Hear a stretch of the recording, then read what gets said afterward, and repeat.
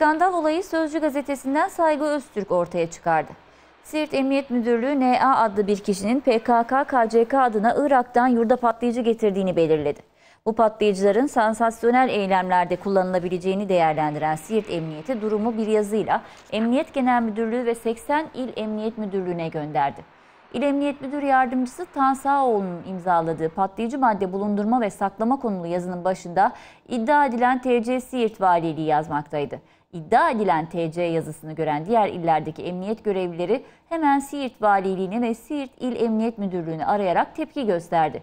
Bunun üzerine yazı iptal edildi ve antetli kağıdın iddia edilen TC satırındaki iddia edilen sözcükleri çıkarıldıktan sonra illere dağıtımı yeniden yapıldı.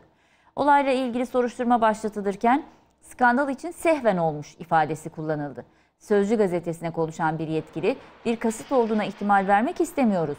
Yazının içindeki iddia edilen sözcüğünün büyütülerek sehven TC'nin önüne yazılmış olabileceğini değerlendiriyoruz dedi.